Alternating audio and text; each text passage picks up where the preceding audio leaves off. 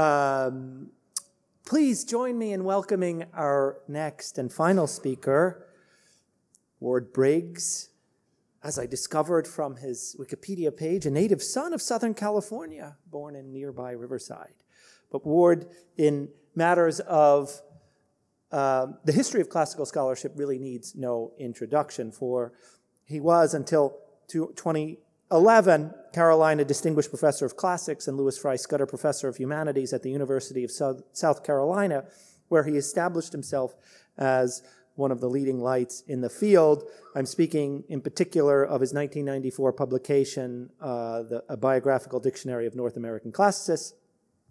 Many of you will know and uh, perhaps have a similar experience to mine uh, of dealing with wards in, in his retirement, which has been busy to say the least.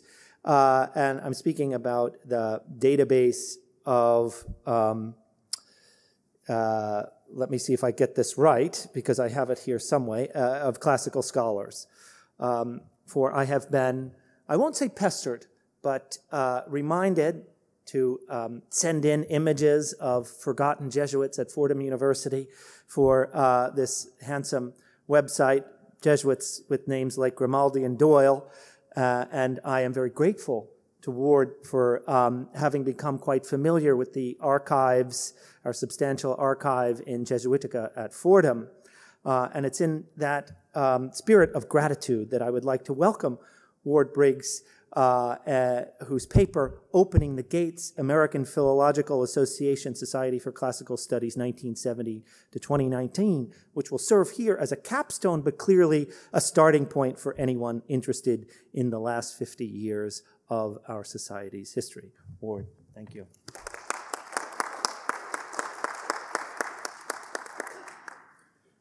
Well, thank you, Matt, for that nice introduction, and uh, thank you for putting together this panel. Thanks to my panelists for stimulating and um, interesting uh, presentations, and my thanks to you all for sticking around to the end, which I hope will not be too bitter. I can't, in 20 minutes, possibly do justice to the turbulent, exciting, transformative half century of the association's history that will have to await a fuller print or digital version. For our purposes this morning, let me, like Aeneas after the storm in Book One, climb a peak and from that distant prospect look out and see how my colleagues have fared in the tempests of the last 50 years. If I peer too long into the distant 70s and 80s, it will only be to emphasize how far we've come. So imagine yourself a graduate student in 1970, about to complete a dissertation and in melancholy search of a job. You are at the APA between Christmas and New Year's. First, you would pick up your registration packet from a member of the local committee, faculty, or graduate students from a nearby school. Perhaps you would find the notice of a job interview, since in advance of the meeting you sent in your very brief resume to the head of the placement office in hopes that someone would see your CV in the placement book and contact you, preferably in advance of the meetings, or perhaps by a note on the overcrowded bulletin board, to meet you in one of the six interviewing rooms, or too often in the hotel room of the interviewer. The chances were about one in three that you would get no interviews at all. You would find among your materials a program of papers delivered mostly by white males there were six sessions, a number unchanged from 1883. The program was chosen from signed or solicited abstracts by a committee comprised of the president, two vice presidents, and the secretary treasurer, the pattern since 1931. Those delivering the papers already held established positions at well known institutions. The majority of the literature sessions dealt with the familiar canon of authors Homer, Virgil, Plato, Horace, Catullus, and the elegists, the tragedians. At this point, Ovid was still a marginal figure. Though upstart groups like the Petronian Society could be counted on for fresh and diverting presentations. History, epigraphy, papyrology, all were represented. Apprentice that you are, you hoped, if nothing else, to see a paper given by a master craftsman of our guild Gilbert Highet, Bernard Knox, Brooks Otis, George Goold, Glen Bowersock. This was still a professional organization run by amateurs. The presidency was largely an honorific title. The person most responsible for the maintenance of the society, the formation of the program, the annual meeting, and the editing of TAPA was the secretary treasurer, a male academic on part time leave, assisted, if he was lucky and his home department generous, by one secretary. All communication and record keeping was done on paper. The most technologically advanced device in the office was a Selectric typewriter. The, the glue that held the association together was the commonality of interest, respect, background, and deep loyalty that characterized the leadership, mostly alumni of a handful of elite institutions, old boys snuggled together in a comfy old boy network. This intimacy is obvious from the familial tone of the analytic encomia that are the previous histories of the APA by Frank Gardner Moore in 1919 and Lucius Shero in 1964. In, as an example, in 1924, one, one member wrote, quote, for the last 24 years, it has been my pleasure to attend the meetings of the American Philological Association, and therefore I know what it means to have a good time.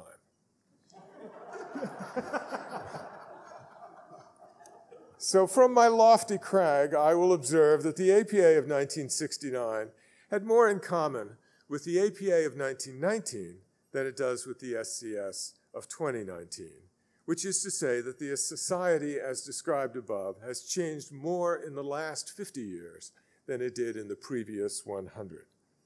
It has also taken a greater role as the arbiter of the world uh, of classical study at large, not only by continuing to support the publication of research by its members, but by directly participating in major scholarly projects and also by, by assuring transparency in its own actions and equity the, and equity in the ethical conduct of individuals, departments, and journals. In my opinion, two events of the last half century have been responsible for the transformation of this society into one that is simultaneously more transparent and more professional. The first is the establishment in 1972 of the Women's Classical Caucus. The second is the appointment in 1999 of a full time, non academic executive director to replace the old and unworkable secretary treasurer position. The motto of our capital campaign was from gateway, gatekeeper to gateway.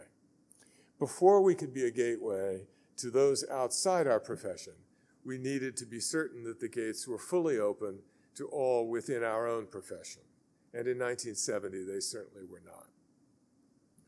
Our student of 1970 has come to the meeting as students ever have, in the words of Frank Gardner Moore in 1919, not without the hope that such recognition would bring advancement in the academic world. From the 1870s through the 1970s, plum tenure track positions were generally arranged, as I confess was mine, without national advertisement, without a formal interview at the meetings, without campus visits by multiple candidates, Placement was accomplished by means of a phone call to or from an eminence at a graduate degree granting institution. I recall that as late as 1979, one senior member advised his students only losers get their jobs at the APA. It was not until 1962 that the APA took its first tentative steps in formalizing its role in the placement of young, younger members when it published academic positions available listing vacancies at five, mostly small institutions. Three years later, the placement service again announced only five jobs, as well known large institutions preferred to keep their hires and their hiring practices private. By 1968 to 69, the bottom had dropped out of the job market, and the dire situation led the board in 1970 to name a director of placement, a secretary, Mrs. Starker. She periodically circulated small job lists and set aside six rooms in the hotel for interviews. 1971 to 72 would be the, the worst job market until the recession of 2008. President Nixon had slashed education budgets, pressure had begun to build on the APA to take a role. And in 1971, positions for classicists listed only eight possible positions. But it was later announced that at least 17 candidates had found employment. Clearly, after 10 years, a number of universities still preferred the old boy network. In response, a committee led by Phyllis Gordon in 1972 defined the APA's position and laid an imperative on departments. Their statement read in part that while the association was only an intermediary working in the interest of providing equal opportunities to all persons seeking academic appointment, nevertheless, quoting, it is a professional obligation for all classics departments to inform the Secretary of the American Philological Association of all positions for which more than one candidate is being considered. There was no shortage of candidates. In 1972, there were 519 requests for interviews, and two years later, there were 750. And by 1977, there were over six candidates for every open position. In 1974, 33% of all candidates received no interviews at all. 58% had one to six interviews, and 9% had seven or more interviews. The proportion of men to women had remained fairly constant in the early 1970s at roughly two and a half to one, but by 1979, there were 164 male candidates and 101 female. Gradually, the old boys acceded to the new order. By 1979, the placement office listed 32 open positions and 25 possible positions. But the placement, under, placement service under Ms. Starker was still in an inchoate, if not chaotic, state. In his first year as Secretary Treasurer, Roger Bagnall recruited his parents, who were highly capable and organized public school teachers. The oak tree never grows far from the acorn and thus they were free between Christmas and New Year's. They took charge developing a system that was both orderly and professional, even if that meant staying up into the late hours the night before the meetings began to finalize the schedule of interviews. The prototype that they established proved efficient and su- successful through the rapidly withering job market and the efficiencies of the digital age. Among the initial list of 164 subscribers to George Comfort's invitation to a philologists meeting in 1869 were eight women, only two of whom became members after the first meeting the following July in Poughkeepsie. We led professional organizations by having our first female president in 1900. The MLA, founded 15 years after the APA, did not have a female president until 1954. Um, the association uh, elected Elizabeth Haight, uh, also of Vassar in 1934, and Lily Ross Taylor of Bryn Mawr in 1942. Up to 1970, only seven women had been president of the APA. Since 1970, 34 presidents have been men and 16 have been women, slightly half the presidents were women. But in the 21st century, the numbers are tilted slightly in the opposite direction. 10 men have been elected president, 11 women have been elected president. The 1960s, by which I and I think most people who use the term uh, refer to the period between 1968 and 1976, was a, was a period of flux and mobility. Young people coming into the world of affairs did not accept with placid deference the established order of government, society, or culture. The contagious protests over, the, over civil rights, and then the Vietnam War, and then women's rights, had given the boomer generation a voice that empowered them to use it as so soon, to soon shake our windows and rattle our walls. This was certainly true of the post war generation of classicists. The APA was in a growth spurt. We acknowledged our size and diversity by meeting in San Francisco in 1969 our first meeting in the West Coast. In fact, it was our first meeting west of Iowa City, Iowa. Most of the progress towards transparency, equity, and inclusion that marks the present Society for Classical Studies would have been impossible, or at least would not have been accomplished so quickly without the impulse created by the Women's Classical Caucus. In 1974, according to Ms. Starker's placement office report, quote, and this is her grammar, not mine, the average woman candidate has less opportunities for an interview than a comparable male candidate, and only a few exceptional women fare as good or better than men with the same qualifications. Indeed, the only women who had a pathway to power or influence in the association were from the elite women's colleges. As Helen North put it in her 1976 presidential address, this all began to change with the founding of the Women's Classical Caucus. The history and achievements of the caucus have been written up in detail, most notably in 1988 by Judy Hallett, and I only have time to note them here, but I hope that this brief mention does not diminish the revolutionary and overwhelmingly beneficial effect that this group has had. The nomination process was conducted by three and later five ex presidents of the association, unchanged from 1870 through the 1960s. The election ballot that our hypothetical job seeker of 1970 received was Soviet style, with only one candidate for each office. Nevertheless, 754 members still felt compelled to vote. The old guard consider, considered it bad form to compete with other colleagues. But women and members at smaller institutions knew that their only chance to share power and responsibility in the association was to press for competitive elections. In 1972, directorships were for the first time competitive and 1,344 ballots were cast, double the number of the previous year's uncontested ballot. In 1973, Eric Havelock challenged William H. Willis for president as a write in candidate. Despite the unspoken agreement among the old guard against competition, George Kennedy wrote a letter to the membership on behalf of, quote, classicists against the election of Eric Havelock. Willis wrote, Willis won 986 to 343. J.P. Sullivan's write in campaign for second vice president against Jim Oliver was unsuccessful. In 1973, there was only one candidate for president, Harry Levy, and one for second vice president, Harold, Helen North. The second vice president would succeed in two years. But the first officially contested election for president, Bill Anderson versus Lloyd Daly, took place in 1974. In 1980, the second vice president, directors, committee on publications, committee on award of merit, committee on smaller departments in various regions, and especially the nominating committee were all contested.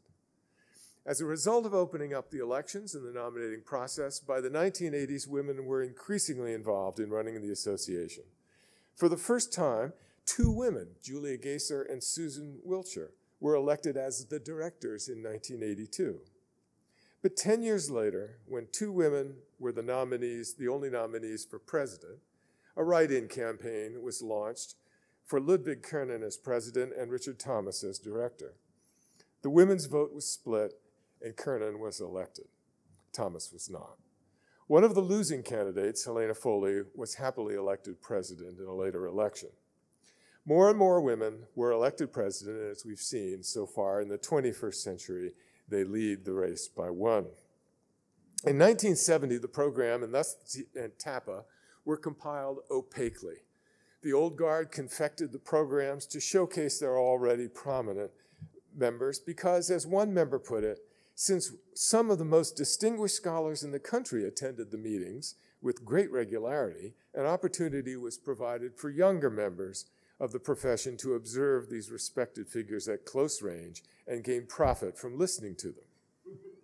The Committee on the Status of Women and Minority Groups pressed for blind submissions of abstracts to the program committee and, um, and, to, T, and to TAPA. One result was that many of the grandees did not have their blindly submitted abstracts accepted. Another result was that female participation both in TAPA and the program increased by 30%. If certain eminences were not seen, exciting, groundbreaking presentations by scholars like Alessandro Barchiesi, Gian Biagio Conte, or Joe Farrell made meetings memorable. Most important, Helen North pointed out that one year after blind, as I said, after blind submission, it, uh, female participation increased by 30%. The meetings themselves became unwieldy.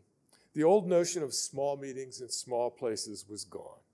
In the first 50 years of the largest meeting, our largest meeting was at Princeton, totaling 115 attendees. but the average at meetings was about 90. By the 1969 meeting in San Francisco, there were 99 papers. For the first time at that meeting, the canonical six paper sessions were broken into three sections each. In um, today's program has nine sessions and 94 sections. So 100 years ago, we averaged about 90 attendees. 50 years later, we had over 90 papers, and today we have over 90 sections. The program is more often now a showcase for the innovative and diverse work of graduate students and those just entering the field than for those of proud name. The Committee on the Status of Women and Minorities, now the Committee on Diversity and the Committee on Gender and Sexuality in the Profession, developed, distributed, and gathered departmental surveys regarding diversity, salary equity, and quotas beginning in 1972. These surveys are now an annual, widely accepted event. It was not so at the beginning, and are collected and analyzed by an outside firm. WCC sent questionnaires to candidates for election regarding issues of importance to the caucus. The APA SCS adopted that idea of requiring candidates for office to answer questions of interest. The caucus also pressed for surveys of journals that were not under the umbrella of the APA and pressed regional groups to adopt many of the transparency policies that were, they were encouraging the APA to adopt. That adoption became easier as members of the WCC, and I want to emphasize that they were both, both male and female. As my dissertation director said when he once did this to a microphone, pardon me. And I want to emphasize that they were both male and female, were acquiring power in the association thanks to the more equitable nom nomination and election process. The accumulated results of the departmental census led the, to the APA forming the Committee on Professional Matters to examine discrimination and harassment in hiring and tenure decisions. This is not the end of the WCC story by any means, but it is all that I have time for here. To rattle off this list, however incomplete, of accomplishments is not to imply that the WCC had an easy time of it for the first two decades of its existence. There was resistance to an outside group interfering with the privacy of a department's or a journal's business, as when the WCC called for a session at the APA to discuss Georg Luck's circular AJP Today, which gave a narrowly crafted definition of philology, of, his, of the philology that his new editorship of the journal would accept. Eric Adler has detailed this controversy thoroughly and very accurately. But the WCC was in the process of instructing our field how to behave fairly, transparently, and professionally, and it has led the APA SCS to be a far better steward of its charges. As long ago as our 50th meeting, 100 years ago, it was clear that the association had grown to the point where dues alone could not sustain it. An endowment committee headed by Fairfax Harrison, the president of the Southern Railroad, and George Plimpton of Ginn and Company as treasurer raised $25,000. The death of Lehigh University professor Charles Jake Goodwin, a member for 44 years, in, he died in 1935, brought a bequest of $60,000 safely and safely guided the association through the difficulties of the Depression, and also brought the association to the point where, as one member wrote, the somewhat casual financial arrangements that had served adequately in early days were no longer workable. By 1964, the Finance Committee, with the help of a very conservative Wall Street brokerage, had doubled the endowment to more than $50,000, but it was all income to pay current expenses. In 1980, we changed invest investment managers and launched a capital campaign to take advantage of the bull market of the 1980s, and we did very well. By the 1890s, the association, in the 1890s, the association gave over $2,000 to support Lewis Campbell's projected Plato lexicon, which never came to fruition. Burned by that experience, we did not substantially support an outside project until the dawn of the digital age in the mid 1970s, when a committee on research tools and programs called for the APA to support major projects, some of which would be digital, some traditional, but to do it through institutions, since we lacked the manpower or the budget to take on these projects by ourselves.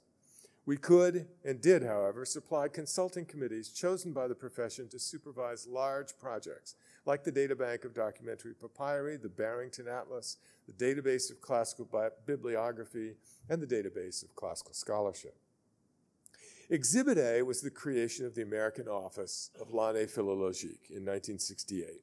Housed at the University of North Carolina, first under T.R.S. Broughton and then George Kennedy, it was maintained by annual grants from the NEH. Our hypothetical graduate student of 1970 would likely have relied on a volume of L'Année Philologique that comprised 824 pages.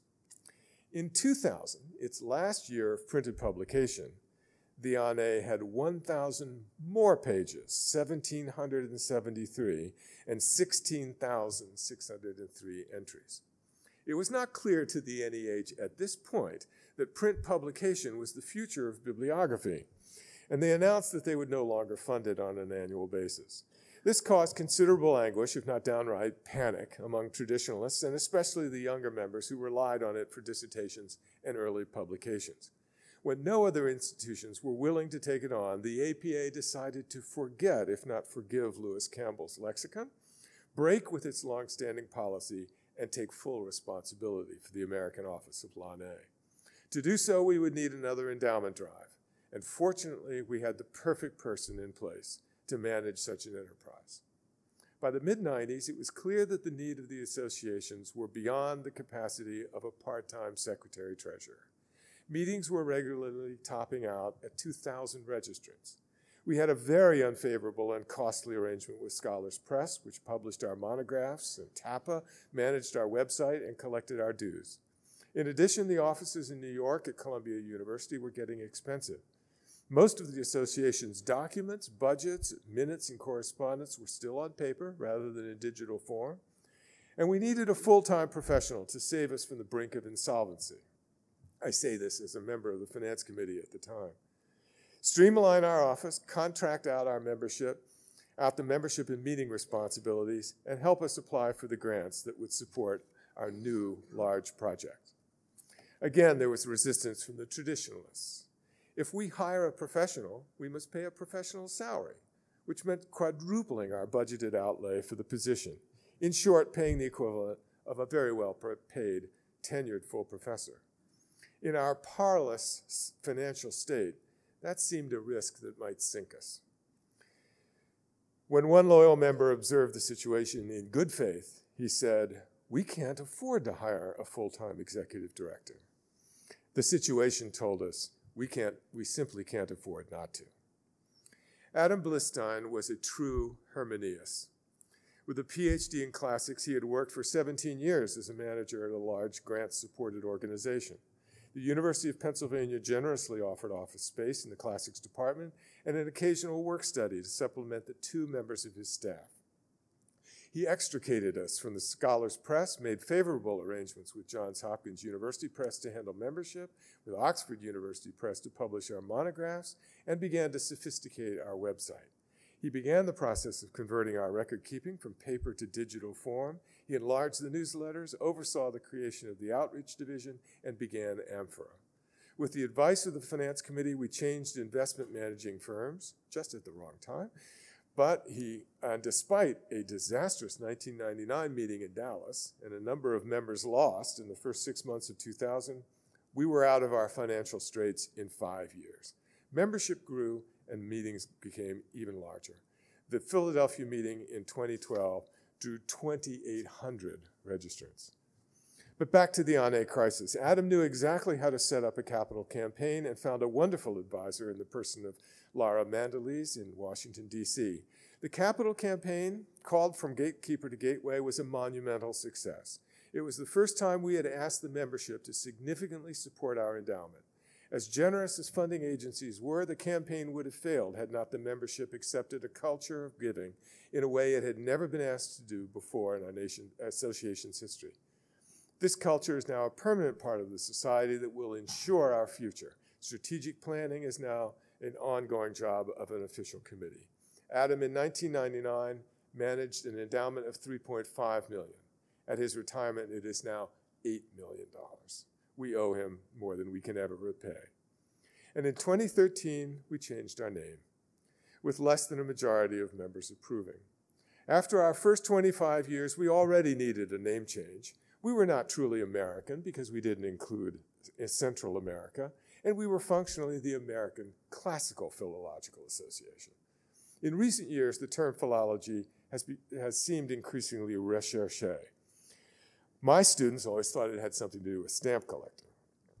I will just say that whatever we do, we will be doing philology as described by our master, Basil Gildersleeve. I should reiterate, wrote Gildersleeve, the confession of my faith in the formulae of my youth, my belief in the wider conception of philological work. Excuse me, in the necessity of bringing all our special investigations into relation with the whole body of philological truth, the life of the world, the life of humanity. At our beginning, we were pan philological and became exclusively classical. Now we are classical philology, but a great deal more. For all its 773 pages, the 1970 L'Année did not list items in the classical tradition, reception studies, cultural studies, film, the history of classical scholarship. The field is broadening and diversifying more than ever, and philology will ever be at the indispensable heart of what we do. In 1969, it was common for classicists to know Hebrew and other Mediterranean languages. And 150 years later, the, with the burgeoning study of Greece and Rome in a Mediterranean context, and with the rise of documentary disciplines, we may have to become even more philological than ever.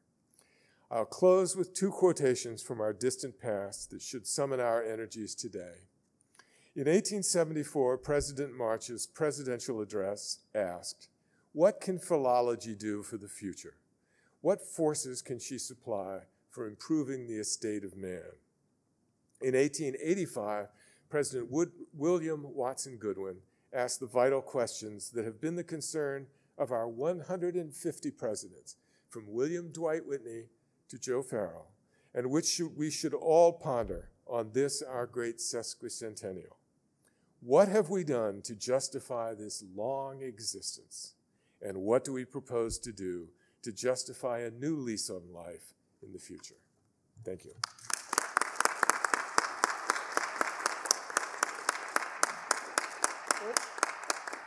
I do understand that uh, this session is technically over, but I also understand that there might be a question or two, uh, and I don't want to be rude. I don't know if there's another uh, session coming in here, but Ward, would you take a question or two if if uh, if we have them? I know it's time to go, so.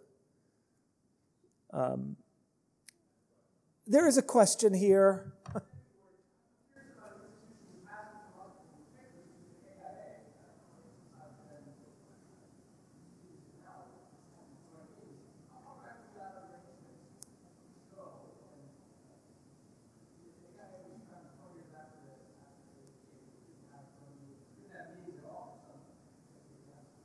in the early in the early years, it was after about after the first uh, I think 15 years, it was quite common for us to meet with other learned societies as those learned societies were coming into existence.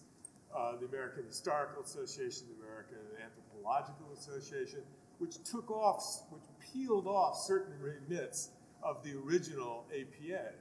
Uh, American Anthropological Association, for example, ha would handle the Native American languages that we were doing AHA and so forth. So we commonly met. Um, the uh, when I think, oh, I'm thinking 1915 or so when, when, we first met with the AIA. I'm not sure, but 04. But it was very, it was a very closely knit meeting.